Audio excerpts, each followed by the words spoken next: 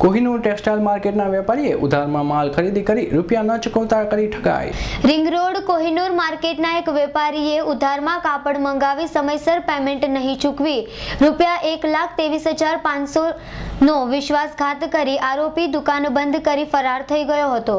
પોલીસે આઈપીસી ચારસો છ, ચારસો વીસ મુજબનો ગુનો નોંધી તપાસ હાથ ધરી છે.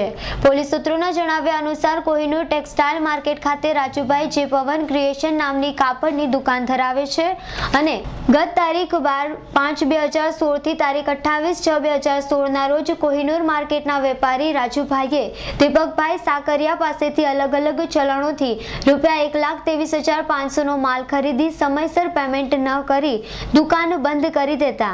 દીપકભાઈને સલાબતપુરા પોલીસ મથકે જઈ પોતાની સાથે ઠગાઈ થયાની ફરિયાદ નોંધાવી હતી. પોલીસે દીપક સાકરિયાની ફરિયાદ નોંધી કોહિનૂર માર્કેટના વેપારી રાજુભાઈ સામે તપાસ હાથ ધરી છે. Bureau report Surat.